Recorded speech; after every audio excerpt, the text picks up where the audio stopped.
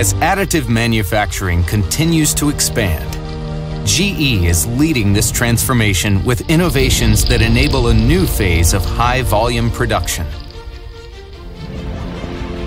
Introducing the Arcam EBM Spectra H, a new generation machine capable of producing parts in temperatures exceeding 1000 degrees Celsius within an extended build platform.